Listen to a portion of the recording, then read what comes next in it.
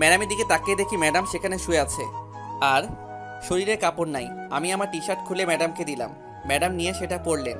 তারপর সেটা পরে আমার কাছে আসলো এসেই এই কুত্তা ছোট লোক তুই আর একটু দেরি করে আসলে তো আমার আজ সর্বনাশ হয়ে যেত। আমি অবাক দৃষ্টিতে ম্যাডামের দিকে তাকিয়ে আছি। ম্যাডাম তখন ঢুলতে লুটতে সেখানে ওয়াশরুমে চলে গেল। আমি সেখানে দাঁড়িয়ে রইলাম। কই একটু আমাকে ধন্যবাদ দিবে তা না করে উল্টা আমাকে গালি দিল। হাইরে বড় লোকি মেয়ে কিছুক্ষণ পর তিনি বাহির হলো। ম্যাডামের দিকে তাকিয়ে দেখে আসার সময় যে ড্রেসটা পরেছিল সেটা আবার পরছে। আমি ম্যাডামের দিকে এক দৃষ্টিতে তাকিয়ে আছি। এই তোকে কখন থেকে বলছি চল বাড়িতে যাব কিন্তু শুনতেছিসই না কেন? আর আমার দিকে তাকিয়ে কি দেখিস? না মানে গালে হাত দিয়ে। চল তাড়াতাড়ি বাসায় যাব। জি আচ্ছা চলুন। তাহলে তারপর গাড়ির কাছে গেলাম গিয়ে গাড়ি স্টার্ট করলাম। ম্যাডাম গাড়িতে উঠলেন। আমি গাড়ি চালাইতেছি আর ভাবতেছি হাই রে ম্যাডাম একটু ধন্যবাদ দিল না। তারপর গাড়ি চালাতে লাগলাম। বাসার কাছে গাড়িটা থামালাম। ম্যাডাম নেমে গেলেন আর আমার কাছে এসে কালকে সকাল সকাল যেন আসিস আমার ভার্সিটিতে যেতে হবে। আচ্ছা ম্যাডাম। তারপর গাড়িটা রাখলাম। গিয়ে শুয়ে পড়লাম। আমাকে বর্ষাদের বাড়িতে একটা ঘর দিয়েছে। আর মন স্বাধীন বাড়িতে বা এখানে যেখানে থাকি। আজকে তো রাত তাই বর্ষা ম্যাডামের বাড়িতে থাকলাম। ভোর সকালে ঘুম থেকে উঠলাম। মাকে দেখতে যাই না, আজকে যদি বিকালে টাইম পাই তাহলে যাব। তারপর ফ্রেশ হলাম। ওয়ে ম্যাডামের জন্য অপেক্ষা করতেছি। ম্যাডাম আটটার সময় আসলেন আর এসে আমাকে দেখল। কিছু বলল না। হায় রে বড়লোকি মেয়ে। কাল রাতে কত বড় একটা ঘটনা ঘটলো। আর তিনি এখনও স্বাভাবিক আছে। আমিও গাড়িতে বসে গাড়ি স্টার্ট দিলাম। তারপর গাড়ি চালাতে লাগলাম। কিছুক্ষণ পর আমাকে থামাতে বলল, আমি গাড়ি থামালাম। দেখি একটা মেয়েকে বর্ষা গাড়িতে তুলল। ভাবসাব দেখে বুঝলাম, বর্ষার সাথে পড়ে। তারপর আবার গাড়ি চালাতে লাগলাম। তারা দুইজন পিছনে আলাপ আলোচনা করতেছে। আমি আমার মতো গাড়ি চালাতে লাগলাম। সামনে আবার থামাতে বলল, আমি থামালাম। আরেকজন মেয়ে উঠল। তারপর আমি আবার চালাতে লাগলাম। চালাতে চালাতে সামনে তাকিয়ে দেখি এটা তো সানজিদাদের বাসায় যাওয়ার রাস্তা। আর সামনে তাকিয়ে দেখি সানজিদা দাঁড়িয়ে আছে। তখন বর্ষা ম্যাডাম আমাকে গাড়ি থামাতে বলল আমি থামালাম। তখন সানজিদা গাড়ির কাছে আসে আর বর্ষার কাছে যায়। গিয়ে কথা বলে আমার পাশে এসে বসে। আমি গাড়ি চালাতে লাগলাম। কেমন আছো জনি? জি ভালো আছি। তুমি কেমন আছো? তারপর আরও কিছু কথা হয়। সানজিদার সাথে পিছনে বর্ষা এটা দেখে আর আগে ফায়ার হচ্ছে। আমি সানজিদার সাথে কথা আগে বলি না সানজিদা আগে বলে। কিন্তু আমি কেমনে তার কথার উত্তর দিব না? আর বর্ষা ম্যাডাম আমাকে সানজিদার সাথে কথা বলতে না করছে। কিছুক্ষণ পর ভার্সিটিতে এসে পৌঁছালাম। পিছনে বর্ষা আর দুজন মেয়ে নামলো। সানজিদা নামার সময় আমার হাতের উপর হাত রাখল আর আলতো করে মুঠো করে ধরে রাখল। থাকো কেমন? তারপর হাতটা সরিয়ে নেমে পড়ল সানজিদা। আমি গাড়িটা পার্ক করলাম। সানজিদা আমার হাত মুঠো করে রাখল কেন বুঝতেছি না। বর্ষা ম্যাডাম আর সানজিদা সবাই ক্লাসে চলে গেল। আমি গাড়িটা রেখে দাঁড়ালাম। তখন দেখি কালকে সেই ছেলেটা। বর্ষা ম্যাডামের সাথে আর বর্ষা ম্যাডামও কিছু বলতেছে না। ছেলেটাকে আমি সেইটা দেখে অবাক হয়ে গেলাম। কিছুক্ষণ পর বর্ষা ম্যাডাম সানজিদা আর ওই ছেলেটা আসলো আমার কাছে। এসে তুই কি ওকে দেখে অবাক হচ্ছিস নাকি? আমি মাথা নাড়ালাম। আসলে কালকে তোকে পরীক্ষা করলাম যে আমার যে সিকিউরিটি আর আমাকে কতটা নিরাপত্তা দিতে পারে। তাহলে থাক তুই। আর আমার ছুটি হলে যেন তোকে পাই। না পেলে না খবর আছে। এই বলে চলে গেল ম্যাডাম। আমি সেখানে দাঁড়িয়ে রইলাম। হাইরে মেয়ে নিজের ইজ্জত কথা চিন্তা না করে আমাকে পরীক্ষা করল। আরে যদি বলতি আমাকে যে আমি তুই যে আমার সেক্রেটারি হিসাবে আমাকে কতটা নিরাপত্তা দিতে পারবি তা না করে একটা অভিনয় করলি। যদি বলতি আমি তুই আমার কতটা আগলে রাখতে পারবি তখন না হয় বলতাম কিন্তু সে আমি সেখানে অবাক হয়ে দাঁড়িয়ে থাকলাম। ও কি ব্যাপার জনি? এমন করে কি ভাবো? ও, আপনি মানে তুমি না তেমন কিছু না। চলো না ওই দিকটায় বসি। না মানে? কি মানে মানে করতাছো? এখানে তো অনেক স্টুডেন্ট আর আমি একটা চাকর। কেমনে তোমার সাথে বসবো? ওই চুপ। তুমিও মানুষ আমিও মানুষ। আর আমি বর্ষা না যে তোমাকে আমি কথায় কথায় আঘাত করব। চলো। আচ্ছা চলো। তারপর আমি আর সঞ্জিতা বসলাম। আচ্ছা তুমি লেখাপড়া করো নাই? হুম করছি তো। এইচএসসি পাস করছি আর ভর্তি হইনি। হুম কিন্তু তারপর মা অসুস্থ তো তাই। আর পড়ালেখা করতে পারতেছি না। কেন? তোমার বাবা কোথায়? আমার বাবা থাকলে তো? আমার বাবা অনেক আগে মারা গেছে আর আমার মা অনেক কষ্ট করে আমাকে লেখাপড়া করাইছে। আমার মায়ের অনেক আশা ছিল আমাকে পড়াবে কিন্তু সেটা তো এখন আর সম্ভব না। কেন সম্ভব না? এই যে বর্ষা ম্যাডামের সেক্রেটারি আমি আর বর্ষা ম্যাডাম যে রাগিয়ে এক মিনিট দেরি হলে আমাকে অনেক থাপ্পড় মারে আমাকে কত- আমাকে কত অপমান করে। আর যদি লেখাপড়া করি তখন তো আরও বেশি করে করবে। তুমি জানো না তো কালকে ম্যাডাম আমাকে সাথে নিয়ে ক্লাবে যায় আর সেখানে ছোট ছোট নোংরা ড্রেস পরে একটা ছেলের সাথে নাচানাচি করে। আর নেশা করে, অনেকক্ষণ নাচানাচি করে। তারপর ম্যাডামকে সেই ছেলেটা একটা রুমে নিয়ে যায়। আমিও তাদের সাথে যাই। কিছুক্ষণ পর ম্যাডামের আওয়াজ শুনি যে, আমাকে ছেড়ে দাও। আমি তখন দরজা ভেঙে ভেতরে যাই। আর গিয়ে দেখি ম্যাডামের সাথে অশ্লীল কাজ করতে যাচ্ছে ছেলেটা। তখন আমি ছেলেটাকে ধরি, তখন ছেলেটা চলে যায়। ম্যাডামের দিকে তখন তাকিয়ে দেখি ম্যাডামের শরীরে কাপড় নাই। আমি তখন আমার টি শার্ট দিয়ে ঢেকে দেই। তারপর ম্যাডাম সেটা পরে। আর আজকে এসে ম্যাডাম বলতেছে, সেটা অভিনয় ছিল যে, আমি তার সেক্রেটারি হিসেবে কেমন? আমি জানি বর্ষা এরকম। তুমি কিছু মনে করো না, কেমন? আরে না কি মনে করব? পাশ ফিরে তাকিয়ে দেখি যে বর্ষা ম্যাডাম আমার দিকে রাগী দৃষ্টিতে তাকিয়ে আছে। আর বর্ষা ম্যাডাম আমার দিকে আসছে। আমি সেখানে মাথা নিচু করে আছি। সানজিদা কত কিছু বলতেছে দু একটার উত্তর দিতে দু একটার উত্তর দিতেছি। কিছুক্ষণ পর ওই ছোট লোক তোকে কি এখানে বসে সানজিদার সাথে কথা বলার জন্য নিয়ে এসেছি? না মানে আমার কলা ধরে টানতে টানতে গাড়ির কাছে নিয়ে গেল। আর গাড়ির কাছে নিয়ে ঠাস ঠাস করে চর মারতে থাকে। তোকে আর একদিন বলছি না সানজিদার সাথে কথা বলবি না। আর আমার সিকিউরিটি হয়ে তুই আমার কথা কেন শুনিস না? কি হয়েছে বর্ষা? আর কিছু করেছে নাকি তোমার সাথে এই ছেলেটা? হুম অনেক কিছু করেছে। কি বলো? এতটা সাহস ওর ভার্সিটিতে এসে মেয়েদের সাথে খারাপ ব্যবহার করা? দাঁড়াও দেখাইতেছি। তখন বর্ষা আমাকে কলার ধরেছিল। তখন সে ছেলেটা কলারটা ছাড়িয়ে ছেলেটার কলার ধরলো। আর আমাকে মারতে থাকে। আমাকে কয়েকটা ঘুষি মারে যার জন্য নাক দিয়ে রক্ত বাহির হয়। বর্ষা ম্যাডাম সেখানে দাঁড়িয়ে কোনো কিছু না বলে শুধু দেখতেছে।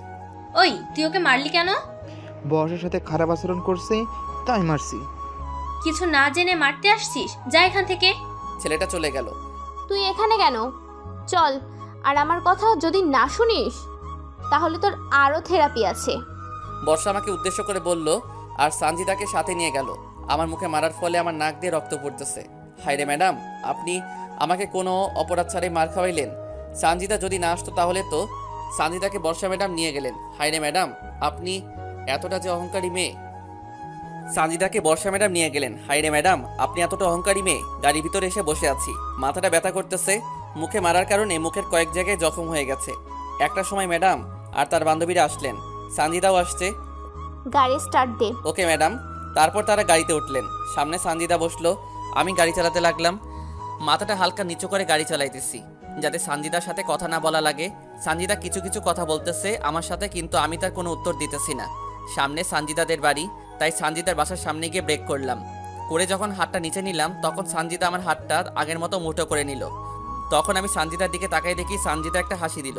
হাসিটা অনেক সুন্দর, কিন্তু হাসিটা দেখে আমি যখন লুকিং গ্লাসের দিকে তাকাই, দেখি ম্যাডাম আমার দিকে আর সানজিদার দিকে রাগিভাবে তাকিয়ে আছে। সানজিদা তখন আমার হাতের উপর থেকে হাতটা সরিয়ে গাড়ি থেকে নেমে যায়। তারপর ম্যাডামের কাছে যাই গিয়ে বর্ষা আসি কালকে দেখা হবে। আচ্ছা যা ওকে। জনি আসি কেমন? কালকে দেখা হবে। বাই। Okay bye. ওই গাড়ি চালা তাড়াতাড়ি। আচ্ছা ম্যাডাম চালাইতেছি। তারপর গাড়ি চালাতে লাগলাম সামনে আবার দুজন মেয়ে নামলো। তারপর আবার চালায়ে বর্ষা ম্যাডামের বাড়িতে আসলাম।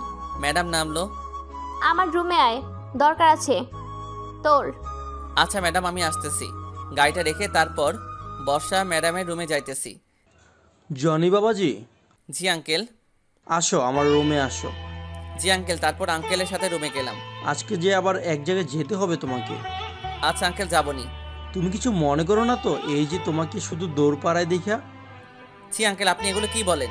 আর আমি তো আপনাদের কাজ করার জন্য এখানে আছি। না বাবা তোমাকে তো আমার মেয়ের জন্য রাখা হয়েছে। তাই আমি তোমাকে কাজ দিই। আঙ্কেল আপনি আমাকে কাজ দিতে পারেন আমি কিছু মনে করি না। যে বক্সটা সেদিন কার ঠিকানায় পৌঁছে দিবে। আচ্ছা আঙ্কেল। আর শোনো এই নাও কিছু টাকা। তোমার মাকে দেখতে যেও। আচ্ছা আঙ্কেল। ওকে যাও। তারপর আমি সেই বক্সটা নিয়ে ভালো একটা জায়গায় রেখে বর্ষা ম্যাডামের রুমের দিকে গেলাম। রুমের কাছে গিয়ে দেখি দরজা হালকা খোলা। আসব ম্যাডাম? কোনো কথা নাই। আসব ম্যাডাম? ভিতর থেকে কোনো কথা আসছে না তাই আমি ম্যাডামের রুমে গেলাম। গিয়ে দেখি ম্যাডাম রুমে নাই। কই গেল? আমি সেখানে নিচে বসলাম। কেননা যদি আবার ম্যাডাম আমাকে তাড়াতাড়ি না পায়, তাহলে তো কী যে করবে আমার সাথে? তাই ম্যাডামের রুমে বসে আছি। মেঝেতে কয়েক মিনিট পর বাথরুমের দরজা খোলার আওয়াজ পাইলাম। ম্যাডাম মনে হয় বাথরুমে গিয়েছে। কিছুক্ষণ পর ম্যাডাম বাথরুম থেকে বাইর হলো, আমি ম্যাডামের দিকে যখন তাকাই, তখন ম্যাডামকে দেখে বসা থেকে উঠে যাই। কেননা বর্ষা ম্যাডামের শরীরে এখন কোনো কাপড় নাই। কাপড় ছাড়া পুরো উলঙ্গ আছে। আমি তখন দাঁড়িয়ে যাই। ম্যাডাম তখন জোরে চিৎকার দেয় আমি তাড়াতাড়ি রুম থেকে বাহির হই। হাই আল্লাহ এটা আমি কি দেখলাম? বাইরে এসে বসে আছি ভাবতেছি আর অনেক ভয়ও পাইতেছি। না জানি ম্যাডাম আমার সাথে কী রকম করে। কিছুক্ষণ পর এদিকে আয়। আমি ম্যাডামের কথা শুনে ভিতরে গেলাম। যখনই ভিতরে যাই ঠাস ঠাস করে মেরে আর ছোট লোক কুত্তা তুই কোন সাহসে আমার রুমে ঢুকেছিস? আমার অনুমতি না নিয়ে কেন ঢুকলি? না মানে ম্যাডাম। ঠাস ঠাস ঠাস। কুত্তার বাচ্চা তোকে যে আজ কি করতে মন চাইতেছে? একটা লাঠি নিয়ে ঠাস ঠাস করে মারতে থাকে আমাকে। মায়ের আঘাতের কারণে আমার চোখ দিয়ে জল পড়তেছে। আমি মায়ের সহ্য করতে না পেরে সরে গেলাম। প্লিজ ম্যাডাম আর মারবেন না। তোকে তো আজ কি করব? ম্যাডাম ম্যাডাম আর মারবেন না। আমি ক্ষমা চাচ্ছি। তোকে ক্ষমা করব না। তুই আমার সব দেখছিস। আমি কিছু দেখি নাই। ঠাস ঠাস ঠাস। তুই দেখিস নাই? আমি বাচ্চা তাই না? তোকে না আমার মেরে ফেলতে ইচ্ছা করতেছে। দাঁড়া, তোর কপালে আজকে খারাপই আছে। তোকে আজকে না কিছুদিন পর দিব শাস্তি। যা আমার জন্য খাবার নিয়ে আয়।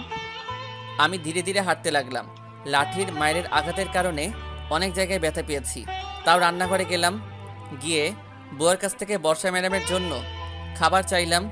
দিল বাহির করে। আমার হাতে আমি খাবারটা প্লেট হাতে নিয়ে বর্ষা ম্যাডামের রুমের কাছে গিয়ে আসব ম্যাডাম? আয়। তারপর রুমে গেলাম। খাবারের প্লেটটা ম্যাডাম নিল। কয়েক লোকমা খাবার খেয়েই জোরে আমার দিকে খাবারের প্লেটটা আমার দিকে ছুঁড়ে মারলো। আর রাগে ফুলতেছে ম্যাডাম খাবারের প্লেটটা আমার বুকে এসে লাগলে। প্লেটটা কাচের হাওয়ায় আমার বুকে এসে লেগে ভেঙে গেল। আর কাচের টুকরা আমার বুকে লেগে অনেক জায়গায় কেটে গেল। আর কয়েক টুকরা কাজ আমার বুকে লেগে থাকল। ম্যাডামের দিকে তাকিয়ে দেখি ম্যাডাম হাসতেছে। ছোট লোক খাবার ভালো হয় না কেন? তোদের কারণে আমাকে না খেয়ে থাকতে হয়। যা গিয়ে খাবার নিয়ে আয়। আমি এদিকে ব্যথায় কোনো কথা বলতে পারতেছি না। বুক দিয়ে অনেক রক্ত পড়তেছে। আর কিছুটা কাজ বুকে এখনও আটকে আছে। আমি হাত দিয়ে কাছে টুকরো ধরে টান দিয়ে আমার বুকের থেকে কাছের টুকরাটা বাহির করলাম। অনেক রক্ত পড়তেছে। আর অনেক ব্যথাও করতেছে। আমি সেখানে দাঁড়িয়ে আছি। কি হলো? শুনতেছিস না কেন? যা আমার জন্য খাবার নিয়ে আয়। আর এইসব অভিনয় বাদ দিয়ে। আমি সেখান থেকে এক পা এক পা করে হাঁটতে লাগলাম। এতটা যে কষ্ট হচ্ছে বোঝাতে পারব না। তারপর আমি আমার পকেট থেকে রুমালটা বাহির করলাম আর তারপর বুকে বেঁধে তারপর ম্যাডামের জন্য আবার খাবার নিয়ে আসলাম। ম্যাডাম আমি একটু মাকে দেখতে যেতাম। যদি যাইতে দিতেন এখন। কিছুক্ষণ ভাবার পর। দিতে পারি কিন্তু শর্ত আছে। জি বলেন কিসের শর্ত? তুই আর সানজিদার সাথে কথা বলবি না। আচ্ছা ম্যাডাম। আমি যেন না দেখি আমার সামনে সানজিদার সাথে কথা বলতে। Okay madam. আর যদি কথা বলতে দেখি তাহলে তোর কপালে খারাপই আছে। Okay madam. তারপর আমি স্যারের দেওয়া বক্সটা নিয়ে গাড়ির কাছে আসি। এসে গাড়ি চালাতে লাগি। ম্যাডাম কেন সঞ্জিতার সাথে কথা বলতে না করে বুঝি না। সঞ্জিতা কত ভালো একটা মেয়ে আর বর্ষা ম্যাডাম কতটা রাগী। ম্যাডাম আপনি একদিন বুঝবেন যে একটু চরের আঘাতটা কেমন। কিন্তু আপনি কাজ দিয়ে ক্ষত করে বলতেছেন অভিনয় না করতে। হাই রে ম্যাডাম। তারপর আমি সঞ্জিদার বাসায় আসলাম। বর্ষা ম্যাডাম সঞ্জিদার সাথে কথা বলতে না করছে তাই কথা বলা যাবে না। আমি ভিতরে গিয়ে কলিং বেল চাপলাম। আঙ্কেল দরজা খুলে দিল। ও তুমি আসছো? আচ্ছা আঙ্কেল। হুম শোনো আমি এখন একটা কাজে বাইরে যাইতাছি। তুমি সঞ্জিদার কাছে যাও ও রুমে আছে। একটা বাক্স আমি সঞ্জিদার কাছে দিয়ে আসছি। সেটা নিয়ে বর্ষার বাবাকে দেবে। আচ্ছা আঙ্কেল। মা সঞ্জিদা জি বাবা। জনি এসেছে ওকে বক্সটা দিয়ে আর জনি যেটা আনছে সেটা রেখে দিবি। ওকে। আমি তাহলে যাই। আচ্ছা বাবা। তারপর আঙ্কেল চলে গেল। জনি তুমি আসছো? সঞ্জিতা তখন আমার দিকে ভালো করে তাকিয়ে থাকে। এই তোমার গালটায় এরকম দাগ কেন? আর তোমার বুকে রক্ত কেন? না না তেমন কিছু না। তুমি এটা নাও আর সেই বক্সটা দাও। আমি আবার মাকে দেখতে যাব। আচ্ছা যাবেনি দেখি তোমার বুকটা। এই না না। চুপ করো। তারপর সানজিদা জোর করে বুকটা দেখল দেখে অবাক। এই তোমার বুকে এরকম ক্ষত কেন? না মানে এমনি। চুপ বলো কীভাবে হলো? ম্যাডাম করছে। কি? বর্ষা করছে? বর্ষা এতটা খারাপভাবে তোমাকে মারছে? চলো আমার সাথে। আমি তোমাকে ব্যান্ডেজ করে দেই। আর আমিও তোমার সাথে তোমার মাকে দেখতে যাব। আরে না লাগবে না তুমি বক্সটা দাও। না আমি দিব না। আসো ব্যান্ডেজ করব। তারপর আমি তোমাকে নিয়ে তোমার মাকে দেখতে যাব। জোর করে আমাকে রুমে নিয়ে গেল আর প্রবেশিভ দিয়ে আমার বুকে রক্ত মুছতে লাগল সানজিদা। আমি ব্যথার কারণে কান্না করে দিছি আমার বুকে অনেক কামড়ও ব্যথা করতেছে। মুরগি কাটার মতো ছটফট করতেছি। সানজিদা তখন দেখে যে আমি অনেক ছটফট করতেছি। সানজিদা আমার অবস্থা দেখে তারপর সানজিদা আমার মুখের কাছে মুখটা নিয়ে আমার ঠোঁটে সানজিদার ঠোঁটটা রাখে, আমাকে লিপ কিস করে আর ব্যান্ডেজ করতে থাকে। ব্যান্ডেজ করার পর আমার ঠোঁট থেকে সানজিদার ঠোঁটটা সরায়। আমি তো অবাক, সানজিদা আমাকে লিপ কিস করল আর সানজিদা লিপ কিস করার পর আর তেমন ব্যথা নাই। হ্যালো বন্ধুরা, পরবর্তী পার্ট খুব তাড়াতাড়ি আসবে। তো সবাই অপেক্ষায় থাকো, আর চ্যানেলটি যারা এখনও সাবস্ক্রাইব করনি, তারা পরবর্তী পার্ট দেখার জন্য চ্যানেলটি সাবস্ক্রাইব করে রেখো। ধন্যবাদ সবাইকে। আমাদের সাথেই থেকো।